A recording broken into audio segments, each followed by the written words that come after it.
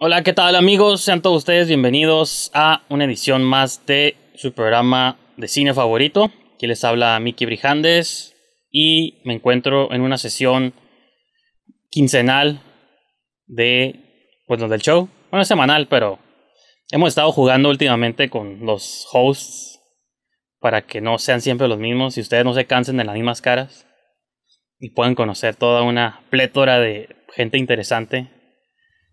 Pues, pero ya van como que dos semanas que no hablaba con Livia y con Ángel, entonces ya era tiempo de reconectar otra vez. Así que, ¿cómo están, chicos? Muy bien, ¿y ustedes? También, creo. Con... Sobreviviendo a la, a la calor, ¿no? Mi, eh, salvador de pantallas aquí, súper moderno. Ajá. Está suave ese setup, está curadillo. Es que adquirí un. Estoy haciendo un turno como maestro de kinder, entonces. Tengo que. Es donde preparo mis clases. Ese juego nunca existió, ¿verdad? Siempre fue un salvapantallas. Sí, era un screensaver, pero sí era hipnotizante. Porque pasabas como por pinturas. Seguramente los que están viendo el show no saben de qué hablamos porque la edición final termina así como una super Winnie vertical. Pero nosotros sí sabemos y. y es lo importante, ¿no? Lo que chiste que nunca entenderán. ¿Y ¿La cachucha que traes puesta sí es real o también es un efecto? No, sí. Se ve como el color como muy vivo, quién sacó. Órale. Nice. Tengo, tengo la luz ahí justo ahí, pero sí. Representando a mis padres. ¿Mande? A lo mejor es una cachucha verde. Sí, estoy representando a mis padres. Que esta es una temporada corta, pero va a ser la temporada que van a pasar finalmente a los playoffs después de como casi 10 años. Mm. Ahora juegan sin público y antes eran tímidos y les daba pánico escénico y por eso pues no... Así es. es lo que yo también sí, pienso. Igual, pero... Pues que son padres, ¿no? Siempre están como recluidos, los monjes, entonces trabajan mejor en la soledad, ¿no? Por supuesto. Tengo que justificarlo de alguna manera, pero bueno. Este, claro, claro. Pues como ya saben, en este show tacleamos una gama amplia de tópicos. Hoy vamos a hablar más de otras cosas menos de cine, que eso ya también se convirtió en, en regla. Nomás, antes de comenzar, otro, digo, no solo me he dedicado a ser maestro de kinder, he adquirido otros, otros hobbies durante la cuarentena. Y antes de demostrárselos, quiero hacerles una pregunta. Voy a contar hasta tres. Bueno, de tres a uno, cero. Y cuando llegue a cero, quiero que me digan su color favorito. Su color favorito. Y lo, bueno, si lo dicen al mismo tiempo que suave, si por el lag del internet lo dicen diferentes tiempos, pues no pasa nada, ¿no? Pero nomás quiero que 3, 2, 1, 0 y me dicen su color favorito. 3, 2, 1. Naranja. Negro. Creo. Ángel dijo naranja y tú, Olivia, no sé qué dijiste. Negro. Negro. Negro. Mm. Nunca, nunca lo imaginé de alguien que es fan del horror. uno, uno de los hobbies que adquirí durante estas vacaciones eh, les robé a mis primas un kit para hacer trenzas de plástico. Entonces, voy a. Mi, una de mis metas es hacer una durante toda la transmisión en vivo. Entonces, okay. voy a utilizar el color naranja y el color negro Mm. para hacer una de ellas. Y pues vere- veremos si queda bien durante el show. Tengo una hora y feria para hacerlo. Entonces, trataré de hacerlo mientras estoy conduciendo el show. Entonces, si me trabo o me despisto, pues cualquiera de ustedes dos puede tomar las riendas del, del show a cualquier instante. Y pues, ¿con qué comenzamos? Con unas cuantas noticias de cine. Por ahí les mandé una imagen. Yo siempre aquí insistí que TikTok es importante y es el futuro. Y aún así yo llegué tarde a la cura, pero estoy siento el honor de que llegué a la cura eventualmente. Y ahora resulta que Cinépolis, porque está desesperado para que gente vaya a las salas, meter Ajá. traseros, su, su cerebro dice, en lugar de llamar a- de como llamarle a las personas grandes de edad que están acostumbradas a ir al cine, ¿por qué no mejor le llamamos a los adolescentes que ven todo en sus teléfonos y que no les interesa para nada ir al cine? Convoquemos ese crowd, creemos que ahí está el público meta y, están haciendo una convocatoria de TikTok para que hagas tu cortometraje o no sé. Ni la leí bien, nomás vi que decía TikTok, Cinépolis, convocatoria y dije, ah, esta, este es un buen tema para inaugurar el show. Entonces, pues les pregunto a ustedes qué opinan de esto, de estas tácticas vanguardistas de Cinépolis. Adaptarse a Ajá, ¿Puedes, puedes hacer un corto en, en, en TikTok, Livia. ¿Cuál es el máximo de, de tiempo que te deja grabar? Pues te da opciones de un minuto, 30 segundos y 15, creo. ¿15 minutos o 15 segundos? Ah, ah, ah, El máximo es un minuto, que yo sepa. Ok. ¿Y puedes, la gente sube un video ya editado? Porque creo que la cura sería más bien grabarlo en el celular en el momento, ¿no? Pues puede variar, porque o los videos que yo he subido, los, algunos los he editado aparte y otros ahí mismo en TikTok. Depende de, mm. Y si acaso la edición que pues inevitablemente le haces, o depende también, es ponerle el sonido. muchos sonidos ya están en TikTok para que los agarres. Ah. Pero, por ejemplo, yo vi la convocatoria en, en TikTok precisamente con varios influencers de los que sí tienen ah. como seguidores. ¡Wow! Es, Fenomenal.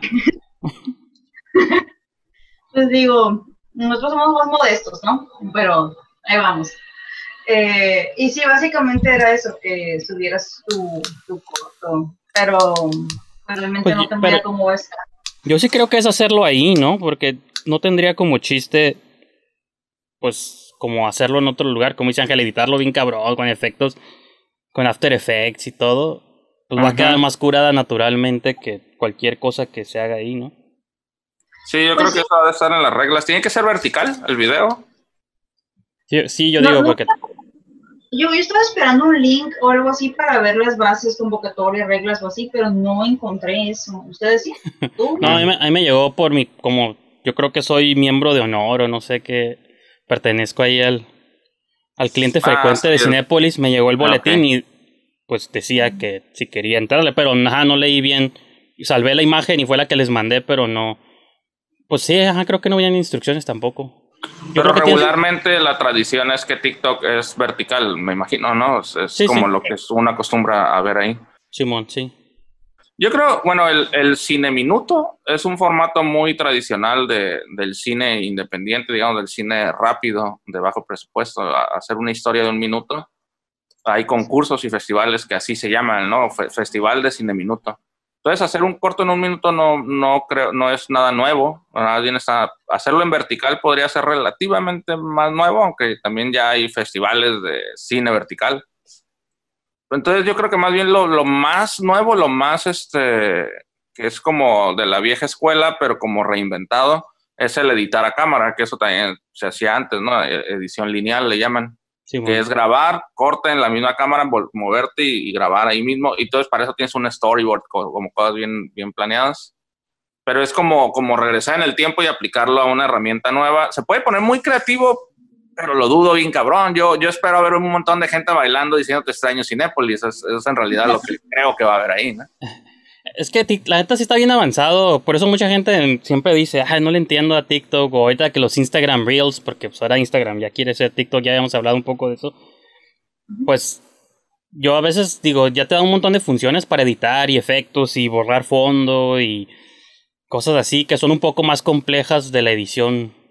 Pues lo que teníamos nosotros que en los tempranos 2000 cuando aprendíamos a editar en el Premiere 3.1, no sé qué cosas que... Entonces sí creo yo que la tienen un poco más fácil cinemáticamente, por así decirlo. De hecho, los celulares nuevos como el iPhone, no creo que es como de a gratis, que ahora ya tengan que tener como 128 GB de memoria y como 32 de RAM, porque pues ya saben que las aplicaciones cada vez le están metiendo más y más y más cosas, ¿no?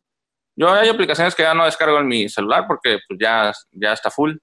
Y tampoco es un celular muy viejo, nada más, o sea, es normal, pero ya exigen todavía más, ¿no? Las, las, aplicaciones. Entonces yo creo que sí, él está, está, interesante, puede ponerse creativo si se, la, si se la rifan. Por lo menos sería suave ver qué hacen esos influencers. No sé si les pagaron nada por hacer el anuncio o si sí van a hacer algo suave y lo van a subir. Ni van al cine los influencers tampoco. Mm, Creo yo. Nada, Les su Netflix nomás y ya. Claro, por eso digo, le están queriendo llegar al público que no va a las movies, en lugar de llegar a mí a los viejitos. Ah, eh, eso se me olvidó comentar. Eh, a ver qué opina Livia de esto. Yo siento que el mercado no es, no es gente, más bien el mercado es gente que no le importa salir en COVID. ¿Tú qué opinas? Estoy de acuerdo. El mercado es gente joven, gente joven que le vale, que realmente no entiende la gravedad de la situación. Entonces, sí, porque si te fijas bien en cualquier red social, Facebook, Instagram, Twitter, lo que sea, es gente que sale un chingo con precauciones, pero que sigue saliendo y que las precauciones son más de adorno para las Insta Stories o para las fotos que van a subir de Valle de Guadalupe, de Ensenada, lo que sea. O sea, que estás pensando en gente específica que... Mm, es que se puso de moda, ¿no? El Valle de Guadalupe, como salía al aire libre, según en tiempos de, de COVID, área segura, y pues como que estaba medio repleto el pinche Valle de Guadalupe, ¿no? Porque había mucha gente por ahí salió una nota que estaba un hervidero de COVID ahí también. Y es como de, o sea, técnicamente sí es un poquito más seguro estar en espacios abiertos, pero pues también si lo atestan de personas, pues le quitan como que el propósito. Entonces... Y creo que si sigue yendo al cine gente mayor, pues puede como decir, sabes que hay mucha fila, mejor me regreso, y gente joven es como, a huevo hay un chingo de gente, se va a poner bien esta onda, ¿no? Y se quedan, ¿no? Entonces, pero no, no sé, es como que sí entiendo por qué lo hacen, o sea, está bien, es un changarro, hay que mantenerlo, que no se muera.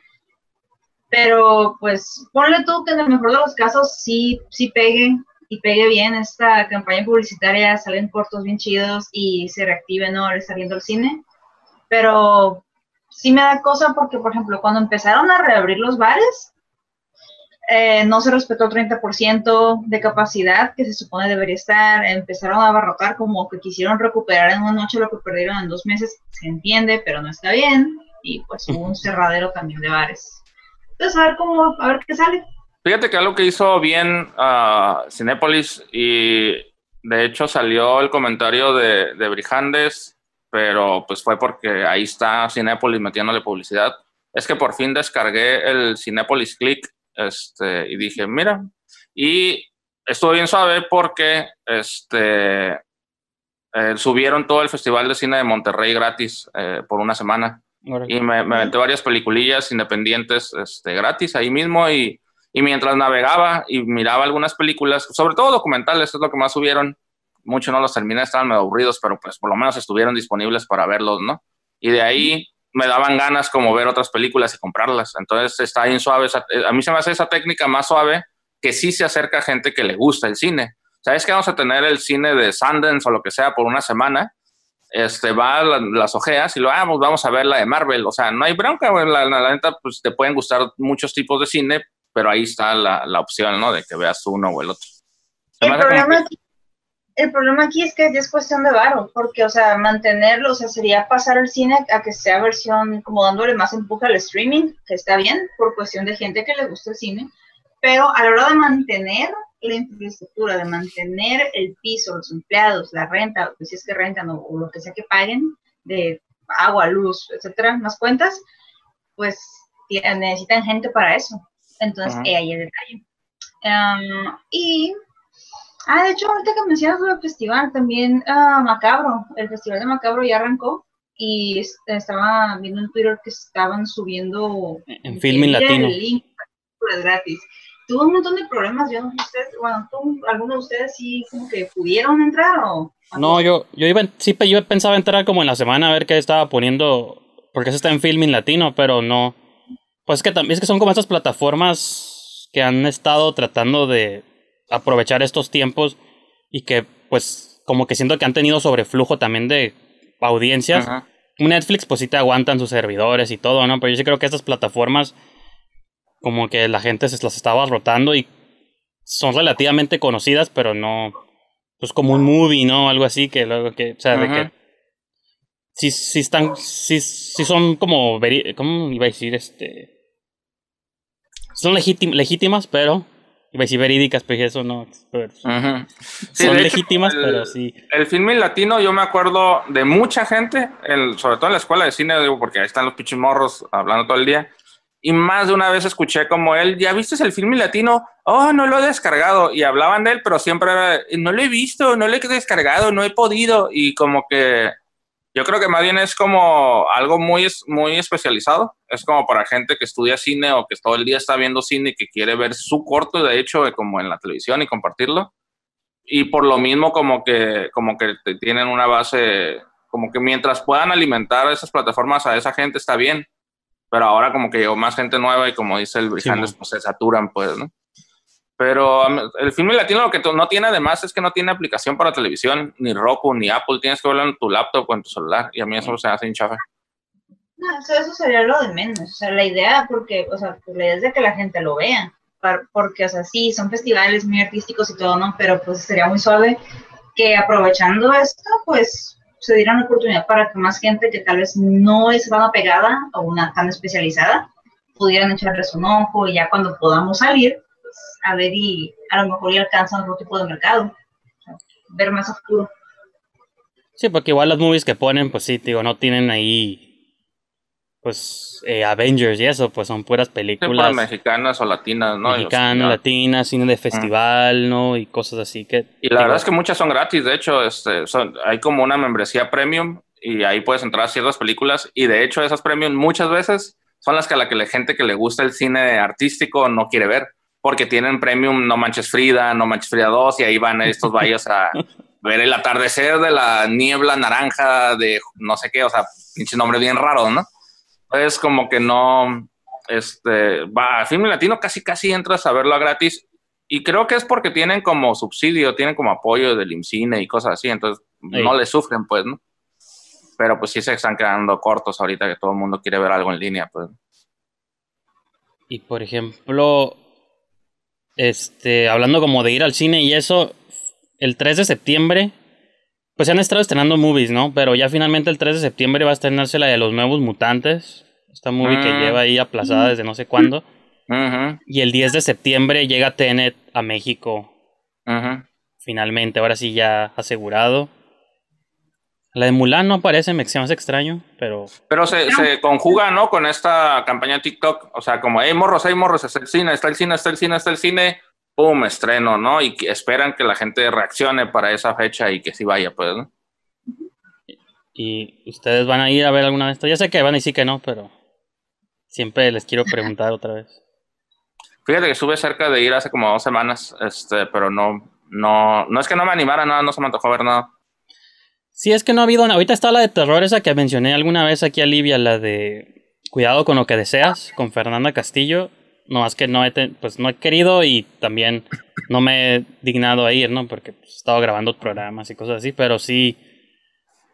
Yo creo que sí. Y este viernes sale la de la Isla de la Fantasía, que la neta esa ya la vi video, entonces tampoco gastaría por verla otra vez. Aunque sabes cuál van a poner curada, la de Daniel Radcliffe. Bueno, aquí le pusieron nombre super chafa, Manos a las Armas pero en inglés se llama.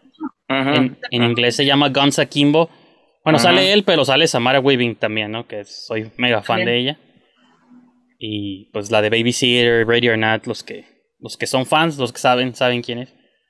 Y es por eso también ya la vi en video, entonces digo, pues, ¿para qué gastar en ver algo que ya, que ya vi? Y sí me gustó, pero no me gustó tanto así como para verla en pantalla grande. No soy tan purista como Olivia de que si no es en el cine Península, no la veo pirata. Lo vale, está muy buena la primera. Pero ya, si estuve leyendo ya reviews de la 2 y como que la mayoría coinciden que se hubieran quedado en una nomás. Mm. Pero pues. Y de hecho sí vi un pedacito y se ve, se ve como video, como si lo hubiera grabado yo con mi celular, la calidad del video. Bajó como mucho la calidad de la una movie a la otra. Yo nomás vi unos segundos como pues para ver cómo se veía la, la que te mandé y sí. Dije, ay, güey. ¿Les quitaron el presupuesto qué, qué, onda? Pues puede ser que estén usando el nombre nada más, ¿no? Como aprovechar un poquito el hit que hubo, ¿no? Pues eso es muy, muy común. Pero sí, si es una saga. ¿Sí? O sea, formalmente tengo entendido porque pues de Estación Zombie hay una precuela que es animada. Y también de Península, tengo entendido que en medio de Península y en medio de Train to Busan hay otra animada. No las he visto, pero eso es lo que he estado como que viendo. Ah. Sí, entonces hay conexión. Como que lo que primero... No di. ¿Qué ibas a decir? No, adelante. No, pues que a lo mejor y simplemente hubo recorte de presupuesto, es la primera que se me ocurre. o cambio de director. Yo, creo que también sí es como pequeña avaricia de, no sé, digo, no he investigado las compañías productoras de estas movies, pero como que fue lo primero que les pegó y dijeron, si en Occidente lo hacen, porque acá no, ¿no? O sea, de que les pegó y hagamos una franquicia de Tren a Busan y si podemos sacar monitos de peluche y 50 mil precuelas y secuelas y versión animada y todo. Como que siento que están estirando mucho una liga que la primera creo que fue genial, de principio a fin funcionaba. Pero a lo mejor están estirando mucho la liga, ¿no? A lo mejor volaron muy cerca del sol. Y se quemaron. Como Ícaro. ¿Quién fue el que voló cerca del sol? Ícaro, en este caso, Ícaro coreano. Mis clases de griego están pagando. De tragedia griega. Voy a la mitad todavía, como que está quedando muy halloweenesco el... el... Sí, está color de Halloween, va. Sí, pues naranja, y para prepararnos ya se acerca octubre. Ahí va, va, ya se acerca ahí. Es color, lo siento. Pues negro es como el... Era negro o rojo, de ti yo esperaba negro o rojo, de Ángel sí era como moneda al aire. Yo pensé morado, pensé en azul, pensé en verde, no naranja, pero... La verdad está muy difícil escoger un, color favorito. Así es como de coloridos. Pude haber dicho morado, pensé morado por un rato y dije, digo morado, no. No y no sé por qué no, no sé por qué la Como que me hice un chingo de tiempo para pensar. ese fue el, ah, show. y fíjense, hablando de Samara Weaving, eh, sacaba una nota esta semana de que los directores, los que están haciendo Scream 5, la querían a ella para que fuera la protagonista de Scream, pero que no, que no empataron las agendas. Ella estaba en otro proyecto y pues cuando se va a filmar la movie, pues no, no va a coincidir. Entonces, porque son los directores que la habían dirigido ya en Ready or Not. Y aparte, pues, yo, yo sí creo que ella estaría perfecta para cualquier movie. La vamos a ver en la de Billy Ted 3. Entonces, pues, donde sea creo que encaja, ¿no? Entonces, pero pues lamentablemente dicen que pues no, no pudieron hacer coincidir los calendarios de trabajo y tuvieron que cambiarla por, por otra opción interesante para mí, porque es la actriz mexicana Melissa Barrera, que soy fan de ella también, pero que salió en Sacúdete las Penas y ha hecho otras movies ahí de baile.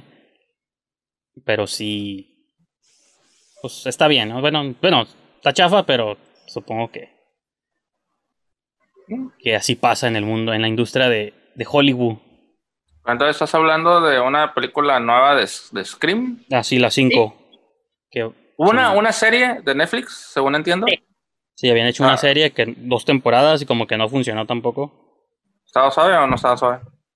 A mi parecer no estaba tan mal, ¿eh? De hecho, a mí me sorprendió que no estuviera tan mal. Porque yo sí me quedé, ¿cómo van a hacer que funcione? O sea, es una slasher, pero va a ser serie y luego como que la, quienes lo produjeron originalmente fue creo que MTV, Simón. Ajá. Yo, yo desde ahí dije, MTV, mm, la voy a ver por morbo. Y la terminé de ver y dije, ok, puedo vivir con la existencia de este producto, está bien. Me gustó, me gustó bastante, me sorprendió. Sí, yo también la vi por morbo, pero pues como soy eterno adolescente, como lo he comprobado aquí constantemente, con mi TikTok y todas esas cosas. Me siento como una viejita, güey, que está tejiendo y hablando con sus nietos. Entonces. Oye, pero lo de Scream la produce MTV de verdad? ¿O es porque son como los dueños del nombre o algo así? O, sea, si hay... La serie la produjo... La serie la produjo MTV, no sé cómo cayeron en sus manos los derechos de Scream. Ahí sí nunca investigué esa parte. Pero obviamente en México la distribuyó Netflix. O en mm. todo el mundo, ¿no? Pero sí. Digo, ahí sí no sé cómo cayó en manos de, MTV la marca de Scream. Ya la movie no sé si también tenga producción de MTV o, mm, o estén como separados los derechos que en cine, New Line Cinema o algo así. Y, como por lo que veo o lo que entiendo, como que sí la, sí la vieron, no sé si se completa, pero vieron varios capítulos. ¿Tenía relación con la historia? ¿Es algo que, tenga que ver con la...? Eso es lo que a mí me molesta, um, me molesta un poquito. O sea, la serie en sí está suave, pero mm, le dan otro giro a la historia. Aquí ah. eh, nuestro villano slash víctima de bullying era, era una persona pues que tenía como una enfermedad que le, daba cierta apariencia diferente a su cara. Ah. Entonces todos los de pueblo se burlaban, en el momento como que se botó la canica. Yo digo con justa razón, no apoyo lo que hizo. un poco como Jason, ¿no? Que también es como que Algo así, algo Una así. situación por ahí familiar. Y- ajá, sí, Pero fue como algo con la idea de hacerlo más seria o como una trama más seria y hicieron como un todo backstory o tú qué sientes por qué hicieron eso. Pues porque es una serie. Para, man- para poder sostener una serie donde va a haber tanta carnicería, porque es una Mm. slasher. Tienes que tener cierta matadera de gente para que funcione, si no, no es slasher. Entonces, pues, ¿cómo le hacemos? Hay que hacer una historia para poder sacar fibritas de ahí. Y en Ah. efecto, tiene sentido. Y hasta hicieron un especial de, Ha- de Halloween donde el, sla- el Ghostface se, se enfrentaba a otro slasher, creo, ¿no? Órale. Que. Yo vi uno, yo vi uno donde una muchacha hacía pasteles de castillos embrujados. Este, no sé si tenga algo que ver ese, ese especial de Halloween de Netflix. no, Pero, pero, sí se es, el horror que yo puedo manejar. No, este, esta serie sí la puedes manejar, o sea, está entretenido, pero no te va a quitar el sueño, o sea, está bien, sí la puedes ver. Mm. Muy bien. Y los morritos parecen universidad, porque, o sea, yo los estaba viendo y es como que mm, me quedé. sí, eso es, eso es lo más raro de todo, de que en las movies, no sé qué movie estaba viendo el otro día también, que se lleva a cabo en una prepa. Y dije, no notaba esto yo antes cuando era más joven, pero ya ahora me doy cuenta que digo, esta gente no va en la prepa, esta gente Ajá. ya son como de universidad, deberían tener trabajos ya formales. Deja ver Y, o sea, si- de ahí mis consejos, como que. Ah, bueno, la de sí. la de Jennifer's La Body. verdad, yo ahí le doy toda la razón a los directores, güey. Si ahora me imagino cómo, sé cómo es un alumno de prepa, me lo imagino ahora famoso y siendo el centro de atención en una película. Justin Bieber. No podría, yo no mames, güey, no, este morro, lárgate de aquí, tráiganme a alguien en 30 años y maquíllenlo. O sea, la, la neta, sí, en- yo, yo no les doy la razón a todos los que usen gente mayores de 30 en la prepa. No, pues ajá, ponle, ok, lo entiendo, lo entiendo. Pero, pero por ejemplo, ¿no viste la movie The Work It que te recomendé hace como dos o tres semanas? Pero Ah, dije que la iba a ver y no la vi.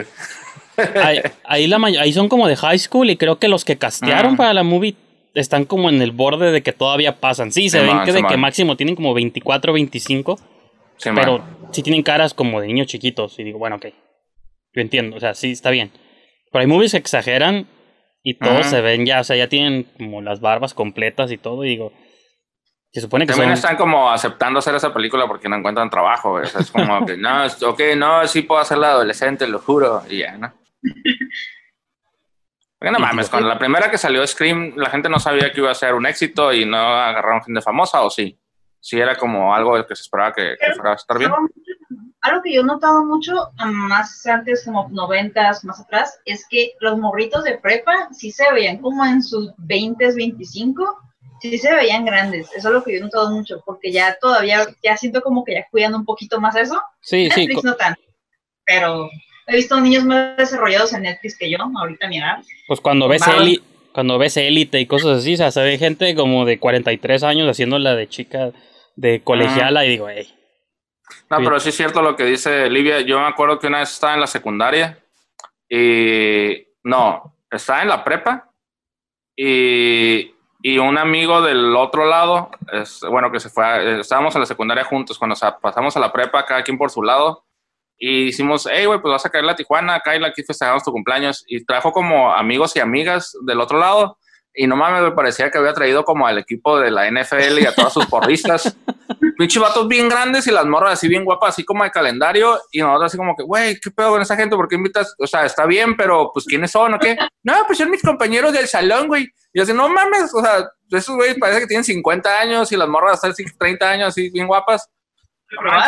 Y es que porque tienen gimnasio y se alimentan bien y es escuela privada y todo el show, ¿no? Y aquí pues uno comiendo pau pau y gancitos, pues está, está todo ñengo en la prepa, pues, ¿no? Entonces como que sí siento que es una cultura diferente y, y también hay cuerpos simplemente diferentes, ¿no? Pero cuando es, en, cuando es una serie gringa como que medio les creo. Pero cuando es una serie neolandesa o alemana o rusa, yo nada, pues sí, pues si me pones un güey así, mam- pinche Thor, ese güey tiene 14 años, sí les creo, no mames.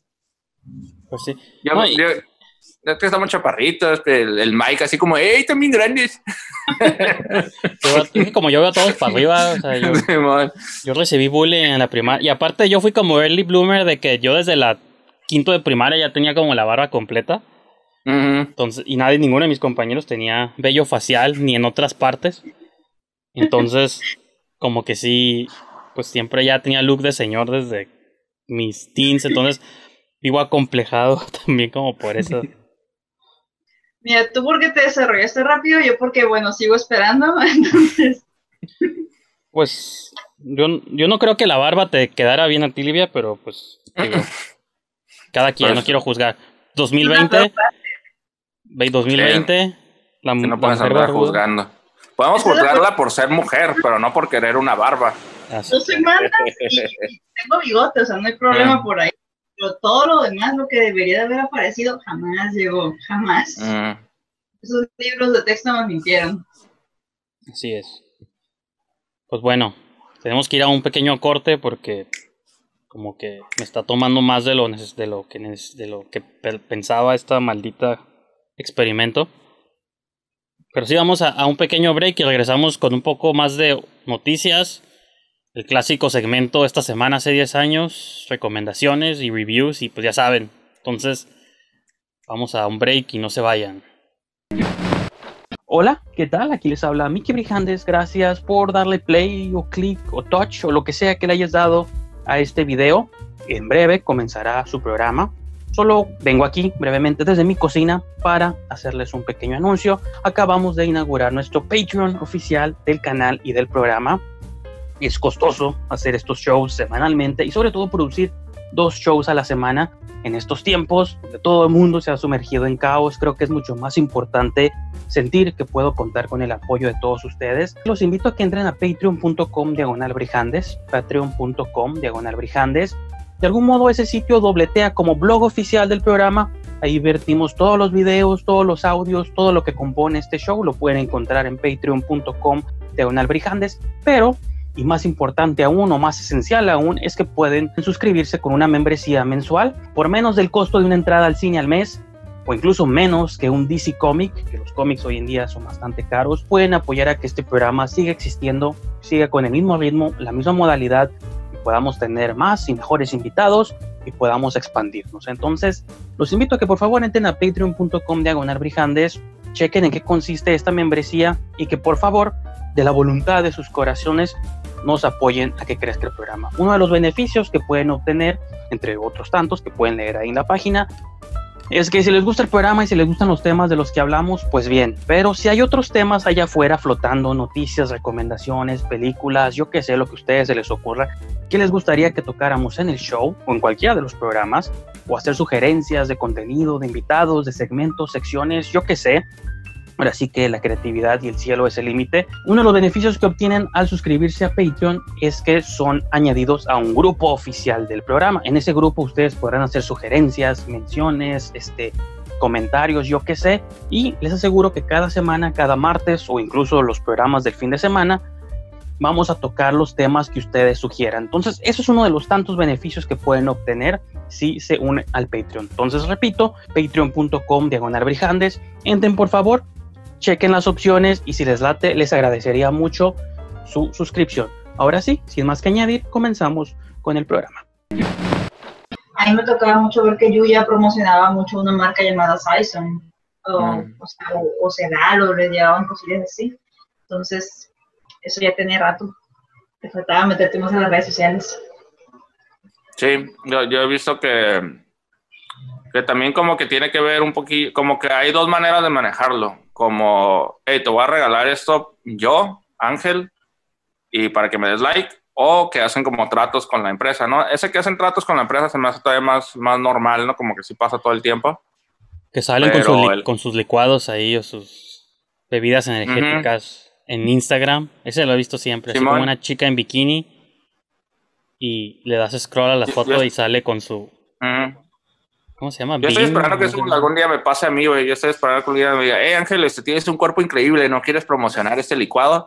No mames, yo estaría bien feliz porque siempre me quiero hacer licuados y nunca tengo frutas, güey. Entonces digo, pues, ¿cómo vamos a hacer un licuado si no tengo dinero para comprar las frutas? Ahí está la licuadora, nada más faltan los ingredientes. Entonces, si creen que tengo un cuerpo increíble y una marca de licuados está viendo este programa, yo estoy dispuesto a modelar. Y yo no me quejaría del opuesto, que alguien que me diga, hey, ¿no quieres promocionar hamburguesas o hot dogs porque se mm. ve que comes bien. Y yo, ok, pues está bien. Si puedo vender la imagen de que como, pues, para lo que quieran. Sí, no, desde, luego, yo, yo, yo, no, yo no creo que sea este, chafa, yo creo que, creo que está bien. Ok, licuados Max, me pueden hablar. O Zapatos Andrea, ¿quieren patrocinar un programa? Pueden patrocinar este show. Estaría muy bien. Quedas ocho y medio. Tengo una mala noticia, chicos, de que Livia me distrajo, me puso nervioso y de un punto en adelante empecé a hacer mal el enlace, entonces voy a aprovechando que no llevaba mucho avanzado, o voy a deshacer y comenzar desde el principio. No crean que es un gimmick para tardarme más. Nada, nada más porque te dije que lo, riparas al final del show. Ese con, no, pues a lo mejor eso me puso nervioso, pero el break como que ya no supe dónde quedé y empecé a, empezó a salir mal, entonces tengo que desbaratarlo y comenzar otra vez. Pero estaba quedando curada, muy halloweenesco. Entonces. Y es que hacer este, la gente no se lo toma en serio, pero hacer trencita es un arte milenario, ¿no? Es, es algo que los, que los antiguos, este, cultura Kumai hacía para, para rendirle tributo a los españoles y la gente ya no se lo toma en serio. Y, muy pues bien, Brejandes, muy bien. Gracias por cultivar la cultura Kumai en este podcast. Como digo, no, que... que tienes problemas de pego, a arruinar tu trenza porque no le quieres rifar. No, y, es algo que adopté ahorita en la pandemia, entonces ya les puedo enseñar otros que hice en ocasiones previas. Mi color favorito es el rosa, a veces no lo había dicho. Entonces hice uno rosa con verde. Mm. Hice uno naranja con azul. Mm. Hice uno de tres colores, rojo, amarillo y azul. Se quedó más gordito porque son más colores. Entonces, Ahí tengo este verde con naranja. Parece que uso mucho naranja, por eso no quería que Ángel eligiera naranja, porque me iba a quedar sin color naranja. Pero ahí es el destino. Entonces, vamos a comenzar de nuevo. Y también vamos a continuar con una sección que a Livia no le ha tocado. Ángel ya la tuvo chance de estrenarla hace unas cuantas semanas, que son las Oxo News. Las noticias más relevantes sucedidas alrededor de algún Oxo en México. Así que vamos a, a comenzar con con una, una de las que tengo aquí a la mano. Livia, no sé qué opinas de esta sección antes de empezar. ¿Te motiva? Estoy intrigada. ¿Estás intrigada? Y me muero, sí, me muero, me muero de curiosidad. Me interesa mucho. Esta fue publicada por el periódico Correo, así se llama, periódicocorreo.com.mx. Eh, Celaya dice: conductor ebrio se estrella contra Oxo en el centro de Celaya por conducir ebrio. Ah. Dice... Ok, ok, todo está normal entonces, todo dentro. Ahí les voy a poner la foto. Dice, por conducir aparentemente en estado de ebriedad, el conductor de un auto March se impactó sobre un establecimiento de la cadena Oxo sobre la calle Morelos, esquina con Pedro Figueroa, en la zona centro de Celaya. Y pues debido a la, derivado del aparatoso golpe, el vehículo tipo Nissan presentó severos daños. O sea, hablando del carro y no de la persona, ¿no? Así como... Pero ¿cómo quedó la persona? Dice, el conductor tuvo que ser trasladado, trasladado al nosocomio, que asumo es el hospital, pero tienen que usar siempre palabras. O sea, no pueden decir al hospital o emergencias, o no, el nosocomio. Para su como manicomio. Ajá, y eso es lo que a lo mejor puede ser un manicomio también. Ahí donde hubiera terminado mejor el conductor. Y pues nomás, elementos municipales arribaron a la zona y tomaron conocimiento de los hechos y bla, bla, bla. Nomás hay una foto del choque, no hay una del conductor ni, de, ni del después, pero eso sucedió en Celaya. ¿Alguno de ustedes tiene algún familiar o amigo que sea dueño de un Oxxo o, que pague? Me gustaría saber si tienen como aseguranza, porque creo que ese tipo de accidentes ha de ser lo más encabronadamente común, ¿no? Que alguien llegue por cerveza al Oxxo y que se quede dormido en el camino y, y, trene, ¿no? que es de lo más normal. Pues sí. Y que la vez pasada Yo digo sí Hablábamos de un batillo de un picaba, ¿eh? Aquí ibas a decir, Lidia, te interrumpí. No, pues nada más digo que a lo mejor y sí, o sea, para mí tiene sentido que sí tengan seguro. Así como, este, oye, Peter, este, ya sabes, acá el, el Oxxo de, de Celaya, el de la zona centro. Ah, Simón Pit, ¿qué pedo? Pues otra vez, güey, otra vez. Ah, ahí, te mando al, al, Inge, ahí te mando al Inge. Y ya, pues me imagino es bien común todo, ¿no? Mira, tenemos. Sí, algo así, no. Otra nota del el manifiesto.com. Mm, buen nombre. Este, también así descubro muchas páginas de noticias, ¿no? No sé de dónde sean estos. Dice Orizaba. Si alguien sabe dónde está Orizaba, aquí en, claro, claro, claro. en los comentarios. en el punto, ¿no? el punto Orizaba. El pico, es el pico. Ah, el pico, sí, pues. Está mejor. Dice, someten asaltante originario de Orizaba Ah, no, el, asaltante es de Orizaba. No sé si pasó en Orizaba. o el asaltante viajó desde Orizaba para asaltar un Oxxo de otro lugar, pero... Dice, un, un vendedor identificado como Miguel Alberto fue sometido por personal de la cadena comercial Oxxo. Pues son karatecas los que tienen los Oxxos. Cuando, cuando atracaba la tienda ubicada en la 16 de septiembre, esquina con Díaz Aragón. Eh, dice, casi a las 8 horas, 8 o 10 horas de un jueves, un desconocido irrumpió en la tienda Oxxo de la avenida 16, es lo mismo, con un picayelo de 23 centímetros y de inmediato amagó al cajero, Eduardo, exigiendo que le diera el dinero o de lo contrario lo iba a matar. esta madre está como novela criminal. El, el, criminal tomó una bolsa de plástico de la tienda Oxxo, donde guardó una botella de whisky, Jack Daniels, Brandy Torres, además 10 cajetillas de Malboro. Pero justo cuando exigía el dinero a Eduardo, entró a la tienda uno de los supervisores de seguridad, ah no, fue el seguridad, y observó que el tipo amagaba con un picayelo. Sigilosamente el supervisor de seguridad Jorge N se fue acercando al asaltante por la espalda, por sorpresa lo sujetó de los brazos sometiéndolo y después el bandido cayó al piso. El personal de la cadena Oxo sometió al asaltante, identificado como Miguel Alberto, de 22 años, asegurándole el arma y la mercancía por casi 1.500 pesos que ya tenía en su poder. Entonces, no sé si ustedes estaba bien picado con la historia. No, sí, excelente reacción. O sea, Stephen King ahí, este, sí, sí. corto. A huevo. ¿Quién redactó esa nota? Sí, tengo que darle props al, redactor mínimo. Fíjate que hay una, hay dos, dos tipos de, de notas, en, por lo menos aquí en la frontera, imagino que un montón de periódicos hacen lo mismo, ¿no? Pero creo que tienes como 150 caracteres o menos y te pagan como a 30 pesos la nota, pues, te, pagan súper mal. Y si tienes más, creo que de 300 caracteres te la pagan a 80 pesos, que tampoco es mucho, pero pues ya amarra, ¿no? Yo creo que este vato llegó, agarró el video de seguridad y pues se puso a redactar todos los hechos, ¿no? Y sigilosamente, y pues sí, pues ahí tienes sus 80 pesitos fácil, pero pues sí, pues no, se la rifó ahí usando alguna. Nada más creo que fue cuando repitió la dirección. Dije, eh, no, ahí es... Acuérdate que ah, los errores usualmente son de ah. mi lectura. Porque es que, bueno, es de la página más bien del diseñador web. Porque mm. ya es que las notas tienen su encabezado como una breve descripción. Luego, como una. Lo que te dice qué es lo que va a venir en el texto.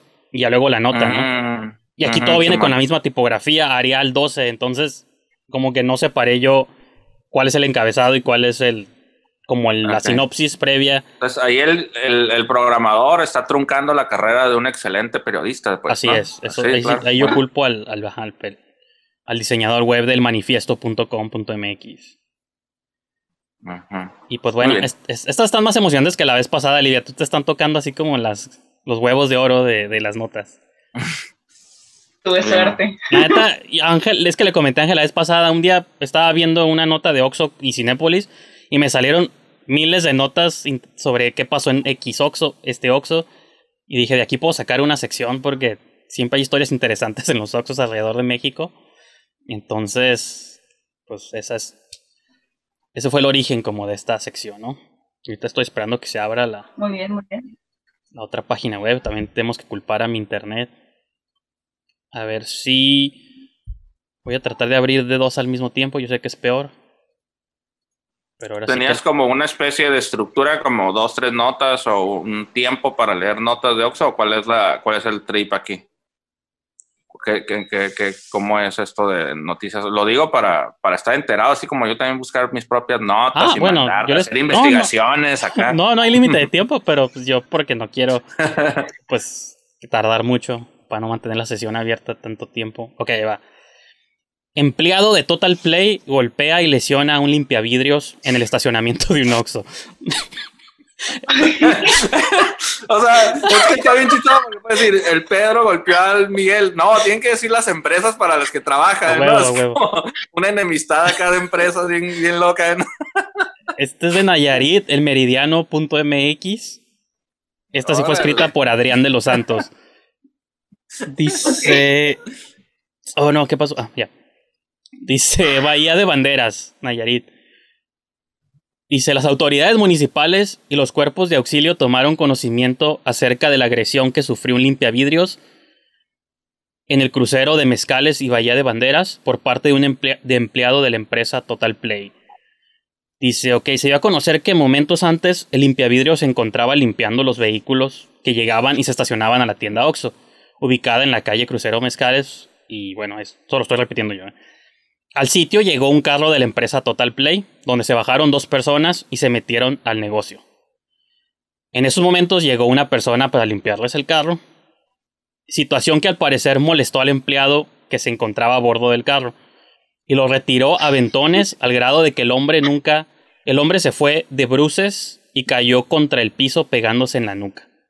Al comenzar a sangrar, algunas personas que se encontraban en los vehículos y vieron la mala acción, se bajaron y comenzaron a reclamar la actitud del empleado de Total Play, o sea, hay que mencionar dónde trabaja, ¿no? Acerca de su proceder, que solo del hombre que solo intentaba ganarse unas monedas, ah, que es emocional. Ah, o sea, muy, muy, muy este, juzgón ese periodista, ¿eh? Mucha subjetividad ahí. Entonces, pues, pues ahí está. Tiene que mantenerse al margen. Dice, quiero saber qué pasó con el empleado, porque dice, llegó el cuerpo de protección civil, atendieron a limpia vidrios, lo trasladaban al hospital, pero no dice qué consecuencias hubo para el empleado del... Nada más tú que dijera, fue una terrible persona. Dice. Yo creo que no le pasó nada. Yo creo que no le pasó nada a ese güey. Estábamos en, en México. Este, fíjate que, que, mientras me lo leías, yo imaginaba que este era como el TikTok de mis abuelos. O sea, ellos miraban una, un, decían, hey, mira, mira esta madre, imagínatela. Y yo me imagino, o sea, si no hay como TikTok, celulares, video a la mano, yo sí me imagino leyendo esa nota y arremedándola, interpretándola para que todos se agarren cura en la casa. Yo creo que estás, esto es como el pre-TikTok. Que vuelvan, que vuelvan las noticias. Y vamos a terminar con la última noticia. Esta ya es trágica. Dice, muerte lo sorprende en el Oxo. Ese es el encabezado, del Heraldo de Saltillo. Dice, un hombre de la tercera edad perdió la vida esta tarde cuando permanecía en una sucursal del Oxo de la colonia Bellavista Juan Ignacio Juárez, de 70 años, acudió a bordo de su automóvil a la tienda Oxo. Caminaba por uno de los pasillos cuando repentinamente colapsó cayendo al suelo ante la mirada atónita de clientes y trabajadores. Al ver que el hombre presentaba problemas para respirar, solicitaron una ambulancia, pero lamentablemente a la llegada de los paramédicos ya no contaba con signos vitales. Y pues dice, ya elementos de la Policía Municipal Preventiva acudieron a tomar conocimiento y acordonaron el negocio y, más. Entonces, pobre hombre, ah, Ignacio Juárez fue a comprar sus donitas blancas o yo qué sé, y pues su... Oye, pero aquí hay un poquito de amarillismo al, no dar información, ¿no? Como que están tratando de que uno se asuste con el COVID, pero ni dicen si es o no es más. Ey, ey, ey, yo no estoy diciendo nada, ahí está la imaginación, pero pues la gente se ondea, pues, ¿no? Creo que es el final de la nota que todos nos maltripiemos y que ya no vayamos al Oxxo. Así es. Yo pensé más como que dejaban el misterio, ¿no? De, oh, de qué, qué habrá sido, pero sí, sí como que le faltó. Sí, le faltó un poco. Sobre todo porque muy rara vez un periodista da seguimiento a la nota. Se supone que es lo que deberían hacer todo el tiempo, pero ya sabemos que no van a seguir investigando. ¿no? Entonces hubiera estado suave que siguieran investigando la vida de este señor y lo siguieron hasta que revive, se hace zombie, se sube a un tren de Busan y toda la película. ¿no? Simón. Paciente cero. Paciente cero, sí. Hay otras, pero las quiero guardar para otras sesiones del show. Aunque me preocupa que ya no haya para la próxima. Pero. Ah, siempre va a haber, bueno, vamos. Ok, entonces vamos a una última, una última. Dice. ok. El sol de Puebla.com.mx Hoy se abrió como música. Ok, ya. Dice: El Sol de Puebla finge convulsiones para evitar ser detenido. Había asaltado un Oxxo. Dice: Ampones asaltan tienda en bosques de Manzanilla y en San Rafael Poniente. Esto es en Puebla. Dice: Dos tiendas de conveniencia fueron asaltadas este viernes en diferentes puntos de la ciudad. Solo en uno de los casos, gracias a la reacción del guardia de seguridad que cuidaba el lugar, se logró el arresto del responsable, el cual, para evitar ser llevado a Rancho Colorado, que sumo es una prisión o algo así, dice, al parecer fingió convulsiones, sin embargo quedó a disposición de las autoridades ministeriales. Dice, el mencionado, en el mencionado sitio, el guardia de seguridad privada que cuidaba el local enfrentó al ladrón, el cual fue sometido de un golpe. Instantes después llegaron los elementos de la policía municipal, quienes detuvieron al acusado, el cual fingió convulsionar para no ser llevado al Ministerio Público. Que a lo mejor estaba convulsionando el golpe que le metió al guardia de seguridad, ¿no? y pues nomás, o sea, eso fue el, ese fue el acto del vato. A ver, pero pues cuál fue como... Pero cuál sería como tu lógica, aunque no te lleven a la cárcel, te llevarían al hospital mínimo para revisar qué tienes, ¿no? Sí, a lo mejor nada se esperaba como confundir al, al, al policía y luego salir corriendo bien rápido, ¿no? Algo así. Pero estaba bien chistoso, como si te atrapan, tú tírate al piso, güey, no hay pedo. Sí, convulsiones, ¿no? sí, man. sí, se pasó de lanza. Y fíjense la descripción de lo, del malandro. Bueno, de los malandros, dice, dos sujetos de complexión delgada, altos y piel blanca. Entonces, para todos ellos que tienen prejuicios de que quién es el tipo de gente que asalta Oxos, delgado, alto, tez blanca, y yo voy a agregar guapos también. Entonces, no me consta, pero. Entonces, pues esa. Esa va a ser la conclusión de, de las Oxo News de la semana. Gracias por haberme acompañado. Y recuerden, cada 15 días, las mejores noticias del país. Igual ustedes pueden buscar, ustedes manden sus noticias más relevantes del Oxo. ¿Qué pasó en el Oxo de la esquina de su casa? todo puede ser posible en estos tiempos. Una manera de conocernos es conocer las historias de nuestro Oxxo más cercano, ¿no? Pues Para saber qué tan peligroso está la colonia. Vamos a ver. Vamos a irnos rápido también porque luego los shows duran como 50 horas y no soy fan, tan fan de eso. En esta semana, hace 10 años, del 27 de agosto al 2 de septiembre del 2010, se estrenaban unas cuantas películas en Estados Unidos. Del 27 al 2 se salió El último exorcismo, una película de horror que nunca he visto. No sé si tú, Livia, la hayas visto. Uh, tienes que verla. Se llama The Last Exorcism. Está muy buena. Mm. Está muy, muy buena. La segunda parte, no sé por qué la sacaron, a lo mejor querían estirar un poquito más el éxito de la primera. No, no, no es necesaria, no hace falta, pero sí, tienes que ver la primera, está bastante, bastante suave y entretenida. Sí te bueno, el susto. Bueno, yo veo la palabra exorcismo, ya es, para mí es innegable que tiene algo que ver con las originales. Creo que es el, el problema con la gran fuerza que tiene esa película, ¿no? Ese icono de la filmografía. Entonces yo digo, el último exorcismo, ¡ah, qué chafa va a ser otra vez esa película toda mal estirada, pues, ¿no? Mm, no, o sea, es lo malo del género, o sea, el, subgénero de los exorcismos, porque mm. Hay un montón de películas de gente poseída, ¿no? En chingo, aventas una piedra y le vas a dar a una. Pero este, lo que tiene esta, esta película es el tipo de formato. Aquí es más como tipo found footage, como si fuera un documental, porque es un grupo que va siguiendo, que, es, que va siguiendo el día a día de un pastor, y este pastor pues les explica, ¿no? Que pues los demonios no existen. Con sus ovejas. Sí, sí, sí. Pero pues de que la gente cree y pues él les ayuda, ¿no? A fortalecer esa creencia porque pues fijo los hace felices, perfecto, él quiere ayudar a la gente a ser feliz. Pero pues si se mm. topan con, con algo real. Ok, si tú tuvieras que venderme a mí esa película, eh, ¿qué nombre le pondrías que no tuviera la palabra exorcismo para que me animara? no le cambiaría el nombre. ¿No? Ah, entonces no la voy a ver. ¿Qué chafa? Yo voy a ver una película que se llama El último exorcismo. Pues, para empezar, es el último. No mames. O sea, pues eso, ese, pues, es el último. Después de este ya ninguna. es muy pertinente, es muy pertinente el nombre, tiene perfecto sentido. Ah, pues el último pastor del bien o una cosa así, o sea, algo, algo más así del, pastorcito, pues es el que quiere hacer a todos felices. Merece su crédito. el pastor que quiso hacer a todos felices. No, o sea, yo, entiendo perfecto por qué, no, puedes hacerle fuchi al, género de exorcismo, al subgénero de exorcismo, créeme, te entiendo, porque sí he visto cada cosa que pues nada más, ¿no? Pero esta película me gustó mucho como para comprarla o sea, no está como al mismo nivel del caso de Deborah Lohan, pero se defiende bastante bien, o sea, tiene... ¿Y el de Emily Rose? a Emily Rose es otra cosa, o sea... Sí, está curada, pero esa, sí, sí la vi, esa sí me gusta. Si está como al nivel o, no. Mm, Emily Rose está acá, Deborah está aquí, el último exorcismo está acá, o sea, si estuve, está en mi top ten de... A mí me llama más la atención las otras dos películas por su nombre.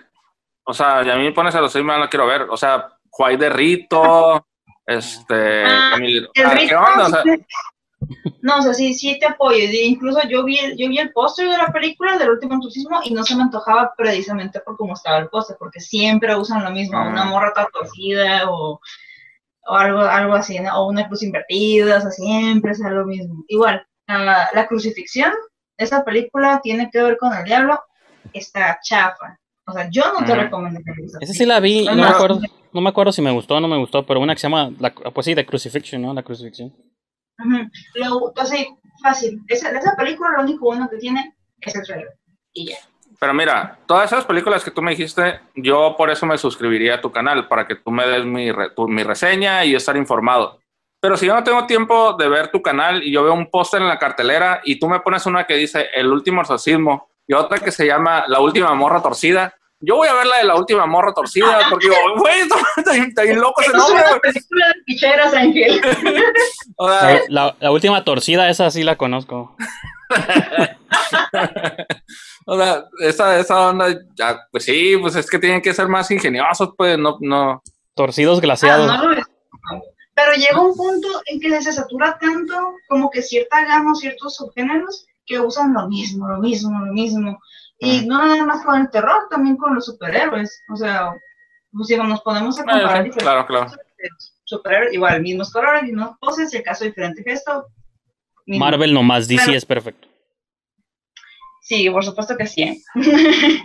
Pero, o sea, hay el detalle, ¿no? O sea, es, lo que tiene este, este, este en particular. Porque todavía los slashers, todavía las películas de fantasmitas, todavía como que le quieren variar cuando tienen ganas pero cuando se trata de una persona que está poseída o que va a ser poseída o que va a invocar un demonio, usan casi siempre los mismos elementos.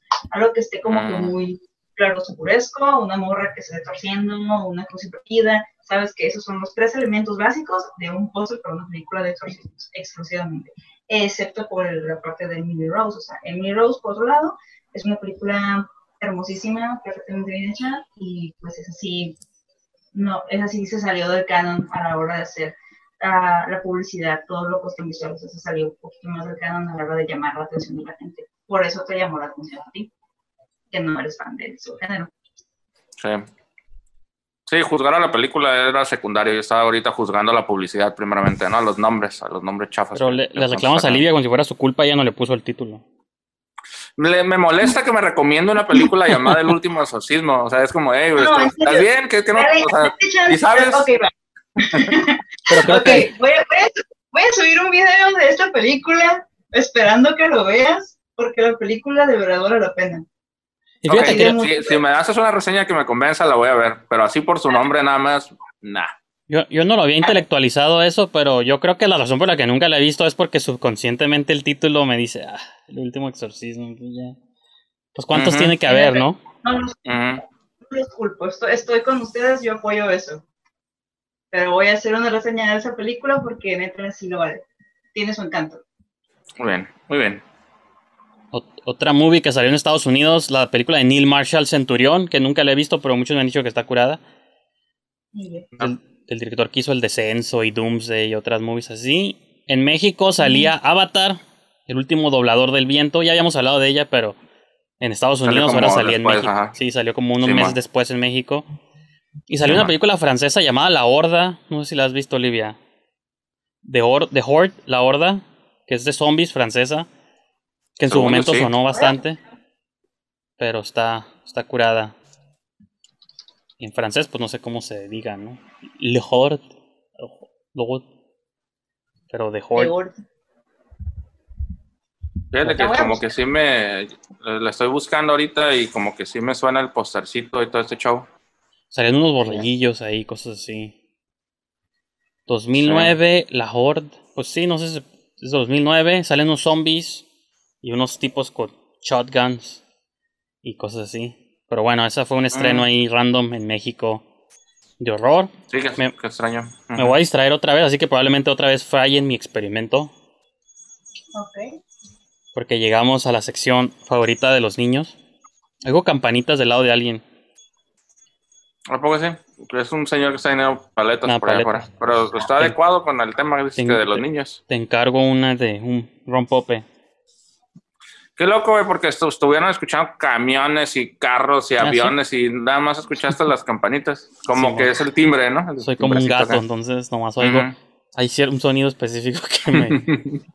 sí, bueno. Vamos a la sección de recomendación DVD de la semana. Mm. Tengo dos. Una para adultos, una para Ángel y la otra mexicana. Esa es para Livia, entonces. Muy bien. La de adultos es una movie que yo descubrí en el cable. Ah, en aquellos tiempos de adolescencia, cuando veía el Golden Choice en la noche. O, mm. ni siquiera a lo mejor era Golden Choice, pero estos canales de arte que luego te ponían películas europeas o españolas. Que veías gente desnuda y le dejabas. Y bloqueabas por completo que era arty. Y te enfocabas, te enfocabas solamente en la desnudez. Simplificando el arte mi abuelita nada decía, ¿qué estará viendo este cabrón? Y yo así como, como cerecito, ¿no? Y justo la, actriz, española en Elena Anaya, que hablando de DC Movies salió en Wonder Woman después como... Bueno, ha hecho muchas movies españolas y de todo tipo, pero era la doctora Poison en la película de Wonder Woman, en la anterior. Y estoy hablando de Habitación en Roma de Julio Medem. Hasta el póster sugestivo son dos chicas en una tina. Y... O sea, alcanza a ver bien. Luego, como es blanco, se va a piratear. Pero. Sí se ve. Necesito como. ahí está. Voy a inventar un, un, un, truco a ver si, si funciona o no tampoco. Quería poner como... creo que más cuando está en tu playera, ahí es donde se Aléjalo más. Sí, ahí es donde se ve bien. Este se mira, se mira muy bien el póster, se mira como algo que yo miraría en, en cartelera en aquel entonces. Y fíjate, o sea, la movie está curada, o sea, toda la movie es super low budget, todo pasa en el cuarto de un hotel, ¿no? Y son como una, una española y una rusa que por las azares del destino terminan como juntas, se rentan una habitación y es como una noche de las dos explorándose a sí mismas, explorando el, el existencialismo de la vida. Luego llega como el vato que les lleva como el servicio o el menú del hotel y lo invitan a que haga un trío con ella. Eso es toda la movie, pasa en ese cuarto de hotel, habitación en Roma se llama la película, ¿no? Que es en Roma, obviamente. Entonces, pues nomás es como una escapada sexual entre dos chicas durante una noche y sus reflexiones que suceden entre sesión y sesión de sexo. Entonces, pues esa es mi primera recomendación. No sé si la hayan visto o si hayan escuchado de ella siquiera. Como que me suena que la escuché, pero no, no que la haya visto. Te digo, a lo mejor el póster. En aquel entonces había muchas peliculitas de estas en el, en el cine, no sé. Simón. Bueno, digo, esta la vi en televisión, pero sí. Es como un cine muy específico que se veía antes en la tele, pues como en el cable, así como tú, como en el Golden Choice, sin querer te topaban movies que estaban como entre lo arty, pero apelaban a tus despertares. Entonces, pues esta, esta movie. Esta movie está por ahí. Y la recomendación, y aquí clasificación C, entonces háganle caso niños, no la vean sin compañía de sus papás. Bueno, ni con compañía de sus papás deben verla. la película mexicana que también quiero recomendar es La Señora Muerte, Sinfonía de Terror. Mm. Ok, ok. Ahí, se ve, ahí se ve. Ahí.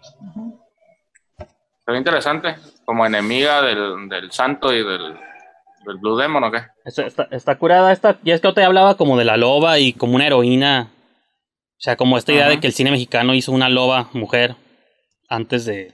Bueno, no sé si antes, pero pues, en tiempos donde la costumbre era que el malo fuera el hombre. Aquí la señora muerte. Sí tiene una cuestión ahí como todavía de los tiempos de que una mujer se desvive por su marido, pero. Se supone que una mujer, su marido está enfermo. Dice Cinta de horror con un toque de psicodelia siniestra, en la cual el científico, el doctor Fadel, tiene el secreto de revivir a los muertos. Al momento de probar si tiene el mundo a sus pies, es cuando Andrés muere por un cáncer degenerativo y su esposa Marlene, que es la señora muerte del título, dice, hace un trato con el doctor Fadel para que salve a su esposo. Dice, para bueno, tiene que hacer como un intercambio, ¿no? Para que este doctor salve a su esposo necesita sangre de mujeres jóvenes y vírgenes. Entonces, esta señora muerte sale a las calles de la Ciudad de México a secuestrar y matar mujeres para robarles la sangre y usarla para revivir a su marido. Que ese es el, el toque todavía ahí misógino de los tiempos. Pero lo que está interesante es que es una mujer matando a otras mujeres no un hombre, que usualmente en estos tiempos el slasher o el giallo o ese tipo de género siempre era un hombre, un asesino serial, pues, ¿no? Que el otro día estaba viendo una movie de Hitchcock también, de, la de Frenzy, y es un, pues, un hombre que mata mujeres, las estrangula con su corbata. Digo, aquí locura, y una vez que las secuestra, pues le saca la sangre con una jeringa y todo el rollo que es lo que tiene ahí en sus manos en, en el póster. Okay. Y pues está, está curada. Ah, bien, suena divertido. Que si nunca han visto La Señora Muerte, se las recomiendo. Película mexicana del 67. No, esta, esta no la abrí. Me gusta abrirlas. Yo sé que todas son iguales por adentro, pero me gusta abrirlas para que vean el disco, el folletito que te recomienda otras películas de la colección. ¿Qué más viene aquí? Pedro Páramo, Los Albañiles, Al compás de rock and roll, La Cobarde, La Liga de las Muchachas, Al son de marimba, pues al parecer buena selección de mundos. Pero por lo menos pinches nombres creativos, ¿no? O sea, no que el último exorcismo. o sea, la muchacha torcida. No manches, güey, hay que ver esa onda. O sea, Eso es algo que yo esperaría ver en ese, en ese papelito que estaba leyendo Brigana. Pues no, sí, sí, ya tú tienes razón. La Liga de las Muchachas, esa me llamó la atención, la voy a anotar en mi lista. Ah. Al compás del rock and roll, esas movies, se que con César Costa, ¿no? Y esa cura. Les fue bien, ¿no? Que les fue bien en taquilla también. Entonces, pues vamos a hacer otro break, porque el tiempo me lo demanda. Y vamos a regresar nomás para terminar el show, para que cada quien haga sus recomendaciones de lo que vieron en movie, en Netflix, en filming latino o lo que sea. Y pues ya despedimos el programa. ¡Mueran los hombres! ¡Arriba la liga!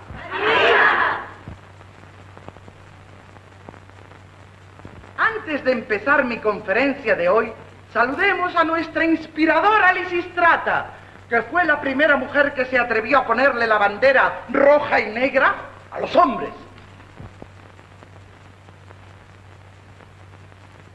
Ya ven ustedes pues que la mujer siempre ha sido superior al hombre. Hoy nosotras luchamos por la reivindicación de la mujer mexicana para libertarla de la tiranía del monstruo masculino. En este país la mujer no es nada. Unos la buscan por tener cocinera, otros para que lave y limpie la casa y otros para satisfacer sus repugnantes apetitos. ¡Qué asco! ¡Hay que acabar con esto! Abriremos sucursales en todos los países. Será una causa internacional y existencialista. Y cuando triunfemos, todos los hombres vendrán como conejos, quiero decir, como corderos, y aceptarán su papel inferior. ¿Están dispuestas a luchar por la causa? ¡Sí! ¿Y juran serle fiel? Sí, sí, sí. sí. Si lo cumplen, que las mujeres os lo premien, y si no, que os lo demanden. Y ya que hemos logrado la unidad, la liga irá para arriba y dentro de poco todos los hombres se inclinarán ante la liga. ¡Arriba, Y ahora para cerrar con broche de oro, entonemos nuestro himno.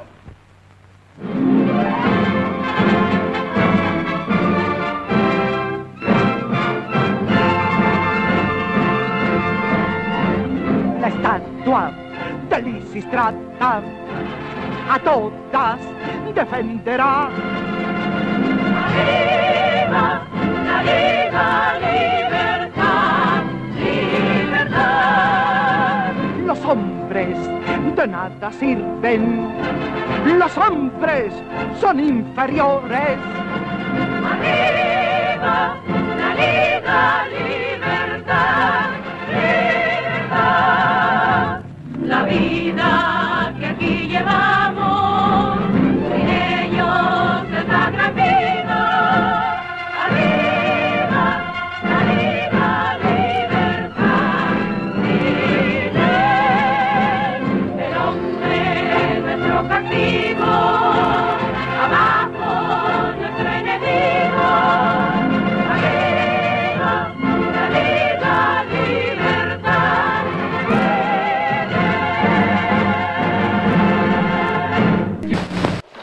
Pues ahora sí, chicos, les pregunto qué es lo que vieron esta quincena que no hicimos programa en sus plataformas preferidas.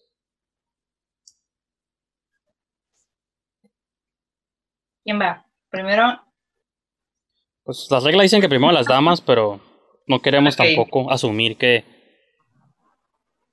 está es bien, una. está bien. Bueno, tuve la fortuna de por fin experimentar la plataforma de Shudder. Eh, espero pronunciarlo bien. Shudder. Shudder. Este, el chuder. Bueno, escribe Shudder y es, y es hermosa. Es como Netflix, pero así de puro terror. No ha llegado a México, este, tuve que conseguir un VPN y por tuve que conseguir me refiero a que mi hermano lo hizo por mí porque yo como que a veces no le entiendo bien a esas nuevas tecnologías de la chaviza. Con trabajo Pero Zoom. mi- Sí, con trabajo Zoom, no, debieron verme la primera vez que usé Zoom. Pero mi hermanito, muy amablemente, ya me trató de explicar, obvio no lo entendí, pero fingí que sí, y me puso, me puso para poder ver a mí mi, mi Netflix de terror, ¿no? Dijera mi mamá. Eh, lo que me tocó ver ahí, am, arranqué con una película que se llama Host, y está muy buena. Dura como Pero- 50 minutos. Te, te tengo una pregunta y la puedes no contestar si así lo deseas y no pasa nada. ¿no? Ok. Yo, este, yo una vez intenté hacer eso, pero mi, el Shutter, cuando iba a poner mis datos de tarjeta, me decía que no podía porque no era una tarjeta americana. Entonces, pues, pude así con un VPN truquear y entrar, pero lo intenté como dos veces separadas y como que nunca pude usarlo porque nunca aceptaba mi tarjeta y pues, pues así como, ¿no? Aunque aceptar el trial o el periodo de prueba, pues de nada servía, porque una vez que se venciera, pues ya mi tarjeta no iba a ser válida. Entonces, no sé si tú tienes una tarjeta internacional o tuviste, o lo estás viendo en modo de prueba, o cómo, cómo lograste Mm, brincar Pues, mi ese. tarjeta, pues no sé, porque mi hermano fue el que lo hizo, pero a lo que tengo, bueno, mi tarjeta es, es una tarjeta Visa y aparte de eso, mi papá tiene otra. Mm. Y aparte de eso, creo que le pidió ayuda, no sé si, no sé si realmente por cura de él o me lo dijo para que no me sintiera mal, que le pidió ayuda a uno de mis tíos. Entonces, ahí sí, yo digo que lo hizo para no, que no me sintiera mal, pero no sé cómo lo hizo, la verdad. Entonces, a lo mejor, y según yo, usó mi tarjeta, pero a lo mejor yo usó la de, o la de mi papá o la de mi tío. Mm, Pues está bien, pero yo digo, yo no pude nunca, entonces por eso estoy vivo agüitado, porque nunca pude. Te mando a mi Es que- hermano para que te ayude. Ajá, pues digo, entrar sí, la, la cosa no es lo técnico, sino el. O sea, te quiero dar mi dinero, compañía, y me estás limitando porque soy mexicano. Falta de visión, ¿eh? Muy mal, chicos. Si alguien habla inglés, pues traduzcan esta parte, por favor. Quiero que los de Shooter, Shoulder, se enteren que estamos muy infelices porque no han llegado a México. Pero sí, la película que vi se llama Host, está muy, muy buena. Dura 50 minutos, pero es el tiempo suficiente para entretenerte, darte que otro buen susto y por fin hicieron que funcionara este formato de la videollamada, del videochat en una película de terror. O sea, ya lo había intentado con Unfriended, Unfriended 2, etcétera, más películas así con ese formatito y no, esta es la primera vez que sí puedo decir, ok, aquí funciona y funciona muy bien. De hecho, grabé video hace unos días sobre eso y, y sí, estoy, estoy maravillada, me encantó la película. De hecho, si hubiera formato físico, ya lo hubiera comprado. Fíjate que yo traté de verla y a pesar de que dura súper poquito, la quité y nunca la retomé porque sentí que dije, ok, dura 50 minutos la movie, 55. Y ya iban como 20 y todavía no pasaba nada y dije, película duras tan poquito y te estás tardando todavía en explotar. Entonces, o sea, si es una movie de 50, yo diría, para el minuto 10, si no es que antes ya te aviéntame el monstruo en la cara. Y dije, la voy a quitar y la voy a terminar otro día que ande más de buenas, porque sí me desesperó. Y aparte es como estar viendo una llamada así de Zoom toda la hora y como que ya estoy harto de las llamadas de Zoom o las hago pues para el show, no para estarlo viendo en mi entretenimiento que dije, será otro día host. Fíjate que es parte del encanto, porque te sientes, o sea, como es algo que ya tenemos tan habituado, sí, nos ves la película te sientes parte de, y hasta les quieres gritar a las morras como de, no, no vayan para allá o haz esto, pero no, no es una videollamada real. Eh, a mí me encantó por eso, también la manera de manejar al ente, este, Ah, ¿qué otra? Ay, otra cosa que me había gustado mucho. Bueno, me gustó un montón de cosas de la película. Pero sí, más que nada, por fin se consiguió que funcionara este formato y quién sabe, a lo mejor estamos como en un como en un subgénero nuevo naciendo, así como cuando nació en Found Footage. No estoy segura si decirle Found Footage a esta película porque no es como, como que tengo mi cámara y estoy grabándolos porque quiero que lo veamos después o porque estamos haciendo un documental. Entonces, a lo mejor y estamos viendo cómo nace un subgénero nuevo, o estoy exagerando y me emociona mucho. No, está, pues sí, sí, sí dio como vueltas en el circuito del género por lo mismo, porque pues está curado el concepto y como dices tú, es una evolución del phone footage. Lo que antes era la camarita en mano, pues ahora es la llamada de Zoom y como dices tú, en esta cuarentena los que no lo conocían ya se acostumbraron o ya lo ubican tanto ese formato en programas, en podcasts, en ellos mismos, con tu familia. Entonces, pues ya todos saben cómo identificarte y te llega por el lado de, te puede pasar esto a ti cuando te conectas con tu gente o tu familia, ¿no? Sí, o sea, porque pues como, como, dije en el video que grabé hace unos días, eso es la magia, ¿no? De, de, las películas de terror, que tú creas que algo, alguna parte de lo que pasa en pantalla te puede pasar a ti. Entonces, a lo mejor era eso también, que nos faltaba convivir más con esta herramienta porque, pues, como otras películas, eh, tipo El Aro, o sea, tú la, ve, tú la viste y como que sí te asustó, bueno, a mí me asustó bastante. ya no querías meter VHS, ¿no? Ajá, ya la pensabas como, así está bien la etiqueta, está, no tiene nada, ok. O sea, y eso es el encanto, pues que aquí es una buena mezcla de cotidianidad con algo sobrenatural y pues es como que es la evolución, creo yo, como de que llega algo nuevo a la vida cotidiana y estamos viendo cómo, cómo implementarlo, cómo ensamblarlo. Uh, cuando recién empezó a pegar el internet más para con eso de comunicarnos, no nada más para negocios, sino también este, por entretenimiento, cotorrear, eh, también que empezaron los locos, ¿no? Con sus páginas sádicas, no juzgo, cada quien tiene problemas, solo digo que hay gente que los trata de manera sana en lugar de hacerle daño a otras personas pero pues que empezaron con esa, con esa desmadre, este, eh, salieron películas como Miedo.com, que pues la película está horrible, tiene un chingo de fallas, pero pues el encanto está en que fue un intento fallido, pero pues fue un intento de... O el, Club del Suicidio, ¿no? ¿Te acuerdas? Esta es japonesa, ¿no? El Suicide Club, que eran unas... que, también en el internet había... No me acuerdo qué era lo que hacían, pero algo tenía que ver el internet con el Club del Suicidio. Sí, o sea, es como... Ajá, sí, igual intentos, intentos así como que falliditos, pero pues todavía el Club del Suicidio como que lo, al menos yo lo tolero un poquito más que Mido.com. Y por ejemplo, lo llevaron después a las apps con la de Countdown, que las apps, todo el mundo usa apps, por ahí una app que te mata, ¿no? Y, o la de Nerve, que no es tanto de horror, pero esta de Emma Roberts, que también una app que te pone retos y te puedes morir, ¿no? Si los usas, entonces, pues sí, es la manera de cada vez empujar más lo que esté de moda. Sí, y pues, pues, sí, buena, buena recomendación. Yo no, yo no la vi completa, pero ya la veré en su, en su momento. ¿Qué más? Bueno, ah, suena interesante, suena bien, suena, suena como algo algo atrevido, ¿no? El querer hacer algo de lo que estamos tan acostumbrados ahorita, pero ponerle ahí el toque especial. Suena bien.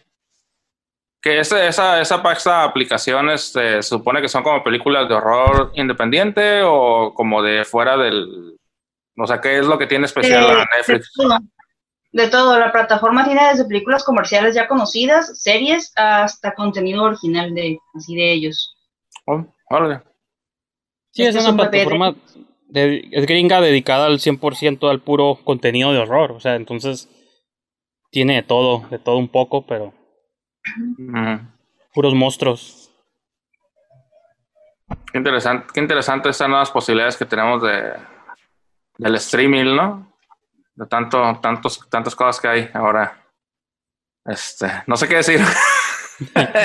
Ah, no, pues igual este voy a aventar una movie. como, que, Yo vi un- como que me sequé, ajá, aviéntate una movie. Sí, en lo que reflexionas qué movies viste.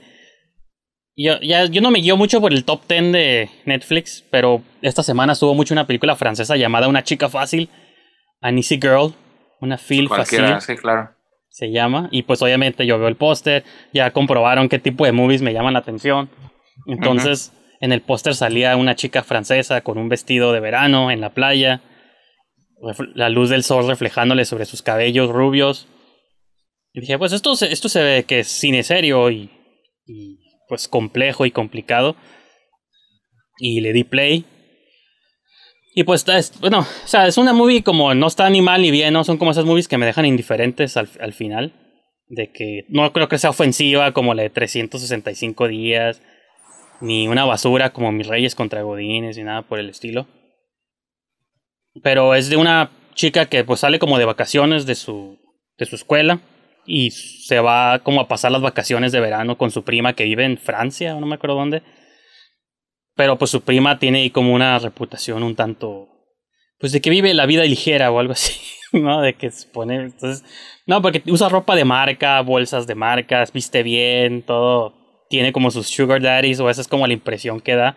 Entonces esta otra Mm. prima, la que se va pues de viaje, empieza como a descubrir esa vida a través de conocer a su prima, pues y, y el título de, de una chica fácil es porque como esta idea de que somos fáciles para juzgar a las personas, pero pues como de la gente decida vivir su vida o hacer su vida, pues o ganarse la vida, si ella quiere acostarse con hombres, con magnates, con millonarios para tener cosas buenas y esa es su vida, pues como que nos pone a nosotros en el quién somos para juzgar, ¿no? Y creo que la prima lo vemos todo a través de la otra prima, pues a la, la, pues, la más chica, ¿no? Que es la que está de viaje con, con, la, con la otra. Y pues sí, están como en un yate y pues los vatos acá, los dueños del yate, pues les tiran la onda a las dos, nomás que, digo, una prima como que sí le da miedillo porque pues, no conoce ese mundo muy bien o de qué cosas, o empieza a ver que tiene que intercambiar cosas a cambio de su compañía, pues tiene que... Entonces, no sé, pues es una simple anécdota, o sea, no, no trasciende mucho de eso. Y repito, creo que la moraleja o la lección que te quiere dar al final, pues es de que cada quien se gana la vida de diferentes maneras y todos los oficios. Bueno, ese si es que es un oficio, es que no es prostituta, o sea, es nomás, pues tiene sus sugar daddies, pues manténganme, cómprenme cosas y pues a Y cambio ellos de... están de acuerdo. Ajá, y las dos partes están de acuerdo y la chica nunca te la ponen como víctima ni como nada. Y eso es como locurada también, pero de que la gente alrededor la juzga siempre, o otras mujeres, excepto la prima, pues la, porque la prima es la que la está conociendo. Y pues sea una chica fácil porque es como la impresión que tienen de ella. Y que uno puede decir, pues sí, pero pues digo, repito, que es como decir, pues quién somos nosotros para... Y aparte me, me interesa cuando este tipo de historias las dirigen mujeres, porque la directora se llama Rebecca Slotowski. Y pues yo siempre creo que cuando la escriben, la dirigen mujeres, pues hay como otra perspectiva distinta que si la dirigiera un hombre, porque pues hay como otro trasfondo que un dude se enfocaría nomás como en lo superficial quizá. Y de otro modo, pues sí hay como más... Pues hay como más trasfondo, creo yo. O al menos es lo que yo pienso. No, no es obligatorio, pero pues yo siempre trato de buscarle como ese lado. Pero digo, estuve en el top 10 de Netflix México por varias semanas. Yo creo que mucha gente se fue con la finta de que le das play y una chica fácil digo, y el cuadrito sí estaba muy sugestivo. Y sí, Pues bueno, como sí que tienes... Netflix, como que Netflix agarró ya su onda, ya tiene mucho tiempo existiendo Netflix como para ya tener como muchos números y estadísticas Y así como el cine tiene sus estrenos de verano y sus estrenos navideños, como que Netflix ya agarró una onda de cuándo lanzar las películas con nombre como controversial, sexy, porque antes de esto hubo como una tanda de películas de acción, ¿no? Y luego antes de eso hubo como series así que rusas, alemanas, holandesas, así como de, de como de, del otro lado del charco, ¿no? como que como que ya agarraron una onda de cómo liberar sus, sus películas. No se me hace coincidencia pues que estaba 365 y luego esta y otras por ahí, este, como que ya agarraron ahí su, su formulita, ¿no? Y, que a mi parecer creo que esa no es tan ofensiva como la de 365 días, que ya tuvimos un debate completo hace varios programas. Pero más bien yo creo que mucha gente podría salir decepcionada. Yo, como el espectador casual creo yo que... Digo, porque sí tiene escenas de sexo y si eso es a lo que le estás dando play. Pero yo creo que la movie tampoco tiene tantas y no se enfoca en eso, pues entonces creo yo que sí te podrías decepcionar si fueras una persona que nomás le está dando play porque, ah, mira, se ve que en esa movie la gente sale encuerada o algo así. Digo que sí es porque pues, es una playa en Francia y todo el mundo anda en bikinis y cosas, pero creo yo que puedes leer, si estás dispuesto a ver la movie, puedes leer más mensajes ahí, no quedarte como en lo, en lo superficial nomás. Y aparte, alguien que nomás ve ese... O sea, ya hay otras avenidas para ver movies. Si alguien quiere ver porno o desnudos, pues hay otras páginas. No, no entrarías a Netflix para ver eso. Puedes ver más y mejores cosas en cualquier otra página. Como la habitación de Roma y todas esas que son arte. Sí, sí. Pues fíjate que yo visité Cinepolis Click, como les decía, con cosillas de, del Festival de Monterrey, pero yo creo que no terminé ninguna, ninguna me atrapó. Ah, a veces también es el humor, como, como, las ganas que nos trae. Yo de pronto traigo la, me puse como en el mood de revisitar películas que recordaba que me habían gustado, pero que tenía mucho que no miraba. En la universidad, en primer cuatrimestre, me pusieron una película que en aquel momento dije, ah, está suave. Y, pero me quedé con un buen sabor de boca y como que ya ha pasado más de 10 años y que la voy a volver a ver a ver si es cierto que está suave. Y fue nombrada en una serie que estoy viendo. Un personaje dijo, el nombre de la película y me acordé. Dije, tengo un montón que no la veo, la voy a ver. A veces me pasa eso, ¿no? Estaba viendo Modern Family y el Phil dice que tiene ganas de ver Telma y Luis. Y yo dije, hoy sí es cierto, vamos a ver Telma y Luis. Y sí, sí, o sea, no me arrepentí, fue una recomendación de, de dentro de una serie, pero me, me gustó, estuvo, estuvo padre. Eh, recordaba a todos los actores y muchos momentos, de, pero sí, no, pues es como indudable ahí la participación de este vato. Eh, creo, no estoy seguro, pero creo que es la primera película de, buen presupuesto en la que participa y porque sale sin camiseta se hizo súper famoso. este, entonces sí recordaba como esos beats, ¿no? Como en la, en la, en la, en la película, pero no recordaba la historia como completa, ¿no? Y estuvo bien, estuvo suave, estuvo suave revisitarla y vivir ese final tan, tan ecléptico, raro, extraño de Fate, así como o sea, dije, tengo que volver a vivirlo a ver qué... qué... Pues, hasta los Simpsons lo copiaron, ¿no? De cuando Marge y una amiga de ella que están escapando de la policía y van manejando y se avientan del... Del puente y del... Bueno, de la... Pues del cañón, ¿no? O lo que sea que sea eso. Fíjate que tengo la duda de si me sigues escuchando porque me apareció aquí un mensajito raro. ¿Me, ¿me escuchan? Yo sí. ¿Sí? Ah, ok. Más bien yo pensaría. Ah, yo pensaría. Yo pensaría más bien espero que Zoom te esté grabando tu audio. Mm. Estoy viendo que, cuál es la filmografía, en qué orden salieron las movies. Pero sí creo que Telma Lloyd fue de las primeras movies. O sea, hizo, ya tenía Brad Pitt un chingo de movies antes, ¿no? Pero. Sí, pero siempre hay una con la que despegas, ¿no? Con la que hace el brinco así. Y pues ahí salía joven, guapo. Escena así como. Pues es de, del Tony Scott, ¿no? o del, ¿De quién es? ¿Del Riley Scott o del Tony Scott? Creo que es Tony Scott. Porque Ridley Scott la, sí. ah, no, Ridley, Scott. La iluminación que hace ese vato, pues está ahí en chingona. Y yo me acuerdo de esas escenas. Están en un cuarto de hotel o de motel, así X. Y la luz de la luna así en la ventana. Y el vato se ve así bien, bien sexy. Y la muchacha se ve. De hecho, no sé si sea la actriz de verdad o sea una doble de cuerpo. Pero la actriz se ve como.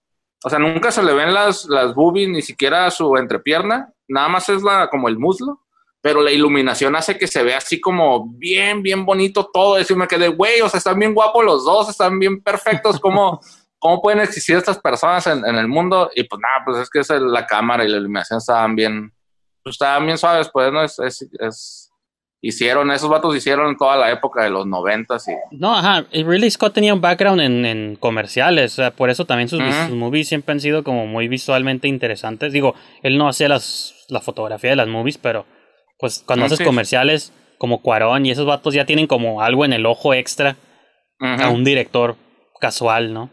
Sí. Estoy queriendo ver qué otras movies fotografió el vato de ese de Telman Lois y pues hizo V de Vendetta y ujú. El retorno de la momia. Bueno, esa no sé qué tan curada estaba, ¿no? Pero.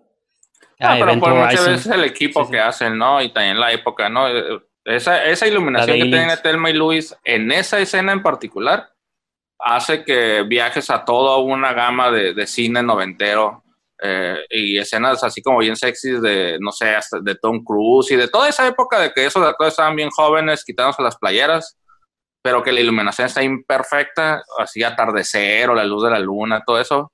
No sé, está como para apreciarse todo eso, sobre todo porque es en film también. No es como que tienen un monitor y todo lo corrigen digitalmente los colores, o sea, está ahí el, el- en la cámara. Está, está muy suave, está, está suave revisitar esas, esas películas de vez en cuando. Viajen al pasado y vean movies viejas. Y pues con eso concluimos el show del día de hoy. Les quiero mostrar que la terminé antes de tiempo. Me sobró ahí colita porque pues también ya me estaban doliendo los dedos y quería terminar Ajá. antes de que el show acabara. Entonces, ahí está la trenza halloweenesca. Very nice. Entonces, bien. Funcionó. El experimento. Nomás les pregunto, chicos, chiques, que. Bueno, Olivia ya mencionó en qué está trabajando ahorita y que va a subir a su canal próximamente. Su review de. Ya se me olvidó. De host. Pero tú, Ángel, no sé qué, qué quieras compartir o qué podemos esperar próximamente de tus podcasts, de tu canal, de todo lo que estás trabajando. Pues para mañana va a salir programa nuevo, nada más que no sé cuándo vayas a publicar este video, entonces en qué estaré trabajando ahorita, en el pasado, presente. Estoy trabajando en una entrevista que me está costando seguramente mucho editar. Estoy sufriendo en ese momento. No, no sufrí en esos días, más bien para cuando ustedes vean este video creo que ya tengo una semana sufriendo. Ah, porque a veces, a veces hay como malos invitados, ¿no? No, es raro. No me había pasado en, en, en Cineasta Pobre. Sí me había pasado en otros proyectos porque pues, Sí. lo he dicho un montón de veces que estudié comunicación, ¿no? Entonces, en otras cosas me ha tocado como esa experiencia donde... mm, mm, ¿Cuál habrá sido el mayor problema? Creo que es como el...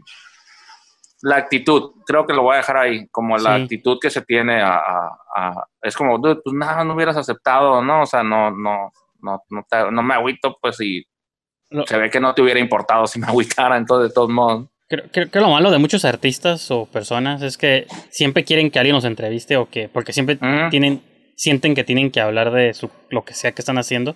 O eso es lo que a mí, yo pues digo Ángel le llegué a comentar muchas veces de que yo tenía como este nervio de contactar gente desconocida porque, pero me empecé a dar cuenta de que pues todo el mundo quiere que les pregunten sobre ellos, ¿no? Es como, Sí. pues, o sea, es la Yo la lo- necesitas. Ujú. entonces, como que las entrevistas que he hecho, digo, para cuando ustedes, ¿se acuerdan que una vez les había comentado que iba a entrevistar a una actriz de películas? Digo, para cuando este show salga, pues ya esa entrevista va a estar al aire, entonces ya lo puedo mencionar, que era la actriz María Evoli de Tenemos la carne, El habitante Ujú. y otras, le conoce a Tomás, ha hecho varias movies. Digo, por si no la vieron, la pueden checar ahí en el canal. Pero pues, sí, fue random de la nada y la contacté y aceptó y dije, órale, pues chido, ¿no? Ujú. Igual Nice. próximamente viene una entrevista con la... He estado hablando con muchas actrices porque creo que son las que más me inspiran, supongo, su, su talento. Eh, Marilyn Uribe también por ahí pronto viene una entrevista con ella.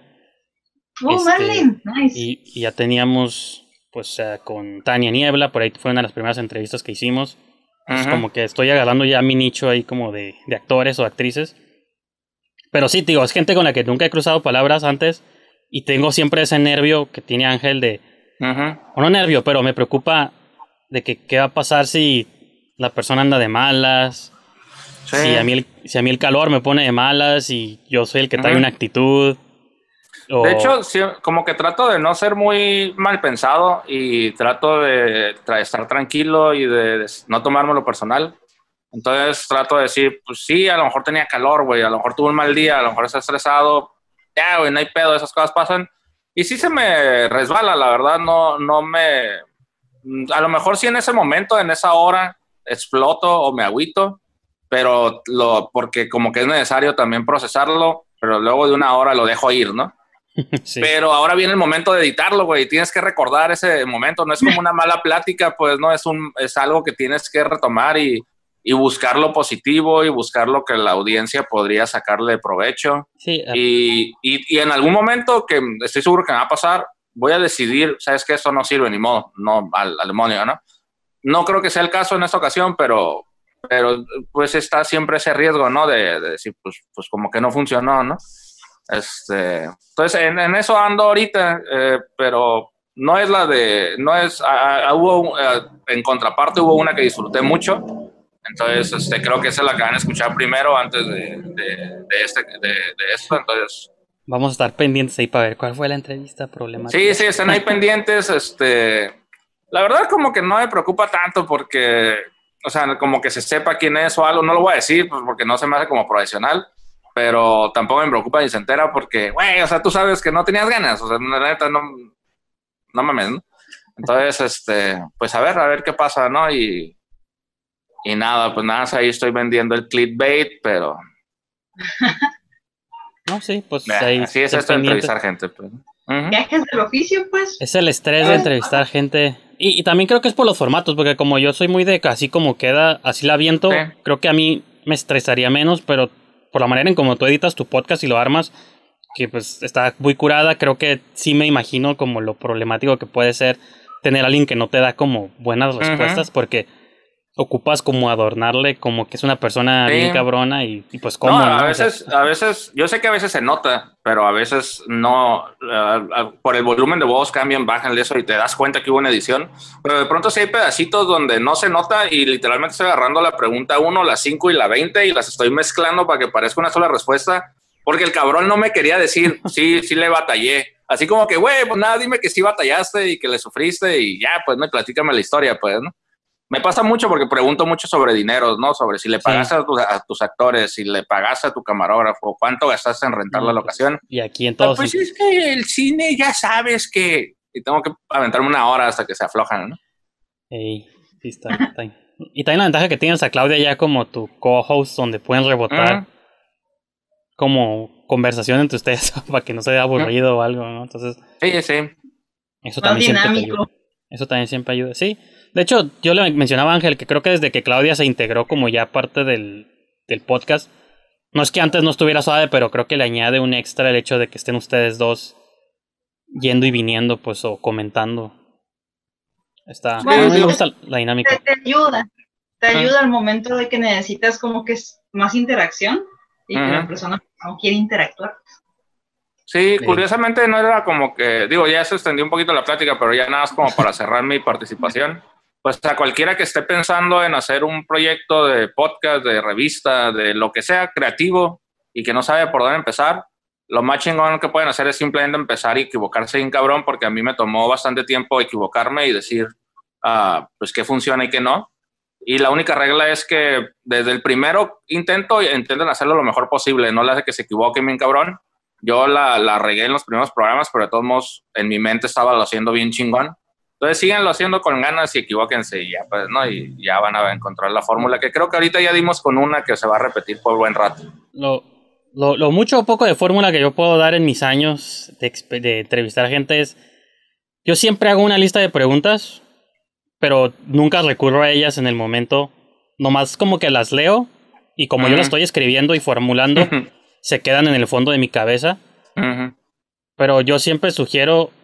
Digo, cada quien son formatos, ¿no? Y estilos. Al estilo que a mí me gusta es conversen con la persona, no la entrevisten. Esa sería mi, mi sugerencia para ustedes. O sea, de que si estás hablando con alguien, habla con la persona, no la entrevistes, porque si la entrevistas, luego te están contando de una cosa y te vas como a, a otro tema que tú tenías en tu lista o tú quieres a forzar que se vaya por acá, pero la plática se estaba yendo como por otro lado.